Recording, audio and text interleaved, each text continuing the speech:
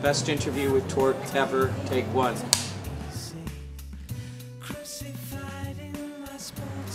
It feels awesome to be back in Florida because when we played here, we actually, this is one of the first sort of tours we went on in the States, was down to southern Florida. There was a girl down here who had a, a night she was promoting in Miami. And um, we were amazed at that point, which was very early in our careers, that anybody had heard of us and there was a great turnout. And um, it, has been awesome again. It's, uh, I mean, there's palm trees, man. It's fantastic. Beats Wisconsin. yes, I think we do. There's four already, see?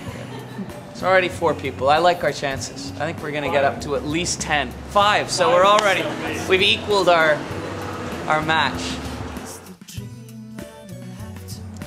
Well, it hasn't felt that way to us, you know? It's felt like a hard fought battle all the way. I, I, I think that um, there's been periods of time where things seem to, to have grown quickly, and uh, we notice that. But a lot of what we've done as a band, we've just done over a long, long period of time and kind of almost fighting for every fan in a way. There were a lot of times where we would go to towns for years and years and you know there'd be 30 people there and the next time we went there'd be 33 people there and the next time we went there'd be 28 people there and it just didn't feel like we were getting anywhere and I guess around uh, around Set Yourself on Fire was when things really started to, to pick up but I think people thought of us as a new band then and in fact we were a band that had already made two other albums and three other EPs and have been going for six years so We've been doing this for a long time, so it always feels both surprising that every anyone cares and and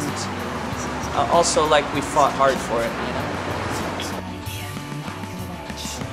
With the baby on board, it's amazing. The baby, Delphine, Amy and Evan's baby, is a beautiful baby and a very good-natured kid. Um, I think for them, it's very challenging and they're learning how to do it. This is really the first time we've been out on the road with a baby. So, you know, for Amy, it's a, a big, big, big deal. It's a full-time job on top of a full-time job. We've sold 500 tickets tonight, but come on down the next time we play, folks. We're pretty good, wouldn't you say? This young man likes us, so what more recommendation do you possibly need? That's right. The intrepid journalist says go.